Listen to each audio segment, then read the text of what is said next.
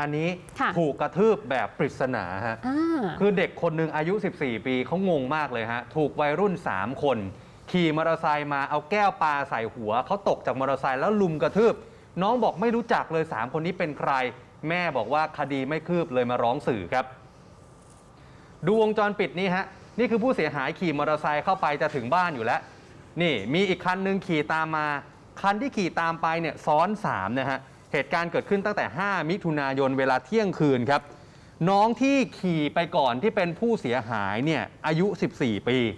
ขี่มอเตอร์ไซค์ Honda Wave สีขาวน้ำเงินออกจากที่ทำงานภายในซอยพยอม 16กำลังจะกลับบ้านซอยพยอม 7 อีกไม่กี่สิบเมตรจะถึงบ้านอยู่แล้ว มีชายวัยรุ่นขี่มอเตอร์ไซค์มาเห็นไหมฮะพอขี่ตามเอาแก้วปลาใส่หัวแล้วกระทืบไม่ยั้งเลยดูฮะค่ะกระทืบไม่ยั้งเลยฮะรุมเตะที่ใบหน้า จนน้องอายุ 14 เนี่ยนอนกองอยู่ที่พื้น ทีนี้หนึ่งในสถานที่กระทืบถามว่า มึงจะเอารถไว้ไหม โชคดีจังหวะนั้น เห็นไหมฮะ มีรถของชาวบ้านผ่านมาพอดี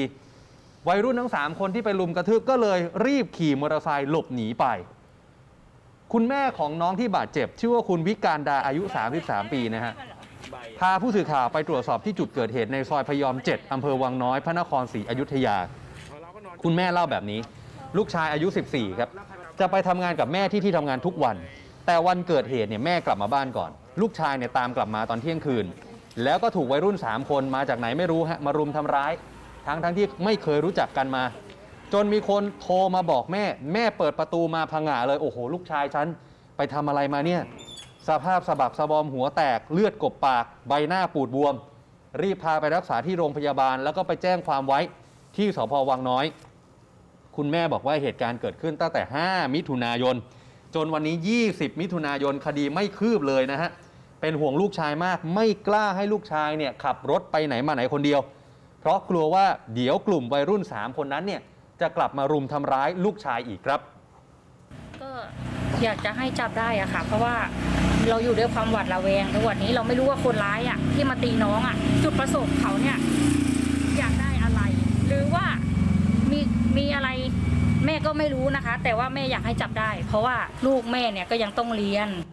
ขณะที่น้องผู้บาดเจ็บยืนยันนะฮะว่าไม่รู้จักกับผู้ก่อเหตุ ไม่รู้เลยว่า 3 คนนั้นเนี่ยเป็นใครมาจากไหน เหตุการณ์ที่เกิดขึ้นทำให้เขาไม่กล้าขับรถคนเดียวแม้แต่ตอนกลางวันก็ไม่กล้าครับวอนเจ้าหน้าที่ตำรวจนะครับช่วยติดตามตัวคนร้ายมาดำเนินคดีโดยเร็วที่สุดครับ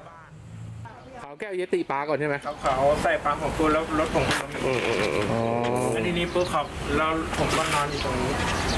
แล้วเขาก็เตะลุมทำร้ายเลยครับสามคนเตะต่อยเลยเหรอครับกระทืบที่หัวอย่างเดียวผมก็ไม่รู้ครับ ผมรู้อีกทีตอนเขาขี่ตามผมมาเลยครับ คือไม่ได้สังเกตใช่ไหมครับไม่ได้สังเกตหรือว่าเราขี่ออกไประหว่างทางนี่เราไม่ได้คิดว่าเราไปปาดหน้าใครหรือไปเจอใครอะไรยังไงไม่เลยครับ ไม่ไม่เลยเนาะครับ